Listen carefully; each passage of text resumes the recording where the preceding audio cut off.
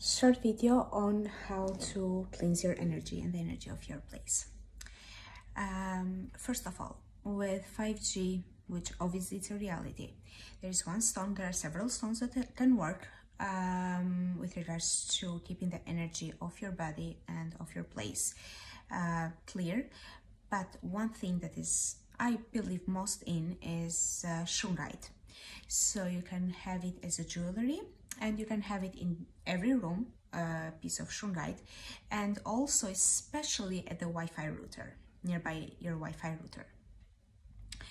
Um, what else? Direction of your bed of the head of your bed like how you sleep it should always be south. In order not to drain your energy it can be east as well.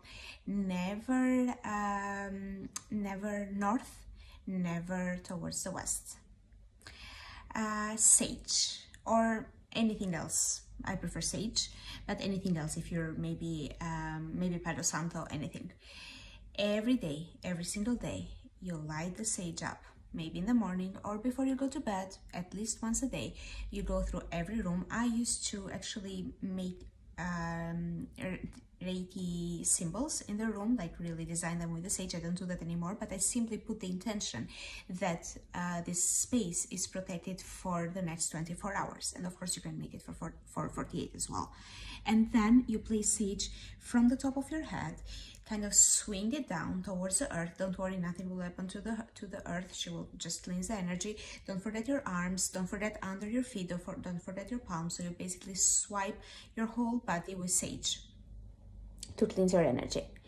Uh, when you meditate, direction always east. So when you um, when you sleep, direction of your head is south. When you meditate, direction is east.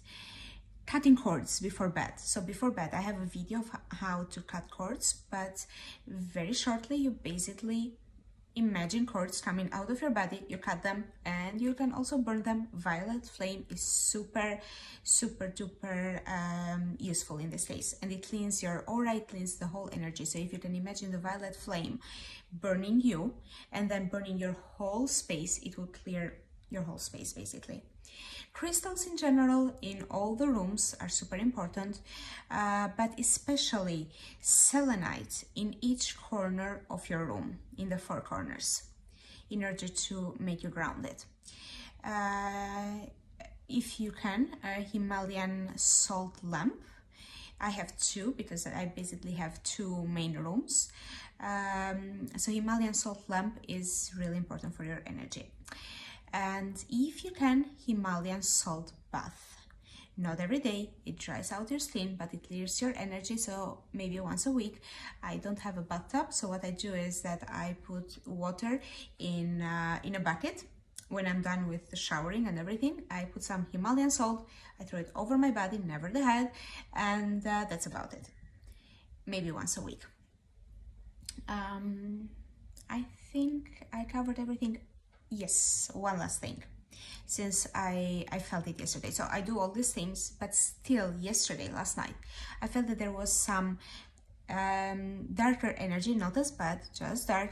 Um, it just needs love, basically, in around me. So what I did is that I increased my light because wherever there is light and love, they cannot resist. I gave it love and I just said, I am a sovereign being. I have free will. So I command you to leave my space now.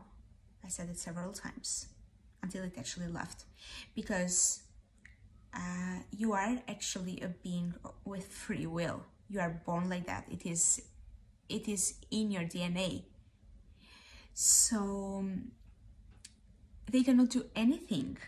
But if you if you feel something and you start getting scared, then it can be a bit fucked up because they, they kind of uh, feed on your fear. So there is some other ways, but they are not my ways. I haven't, I'm kind of playing around with them. I've learned them from Shaman Durek, so you can check him up. Uh, he spins some... Anyways, I don't want to go into that because they're not uh, something I've really integrated, but if you want to know more, check him out. They seem to be quite, uh, quite useful as well.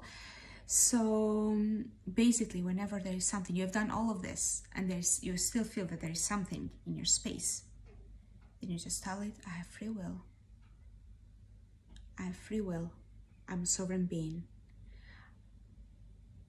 Put light and love to the energy and command them to leave your space. So I hope this is not too much out there. For me, I wished when I started uh, awakening and all sorts of energies were attaching to me and I wasn't aware what the hell was going on. Even in my third eye and everything. And I really didn't have someone to get my hand and pull me through that. I really would have loved for someone to tell me this. This is why I'm sharing it with you. And if it doesn't resonate, if you think that I'm cuckoo, might maybe one day you will understand that actually I'm not. I'm just an empath that feels absolutely everything and had to learn how to protect herself. Um, so if you feel like that, then it's it's fine. Don't hate me. Just don't listen to me. Um, and I hope I hope it can help someone out there.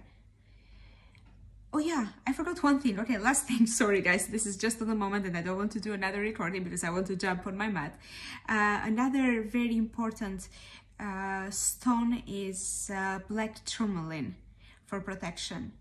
Yes, black tourmaline. I mean, you can use all the other stones. I have tons of stones, tons of crystals, but but black tourmaline and uh, shundranite, shundrite, sorry, shundrite, shundrite. I'm not sure how to pronounce it. They are super duper right now. Yes, I think this is all with regards to the energy.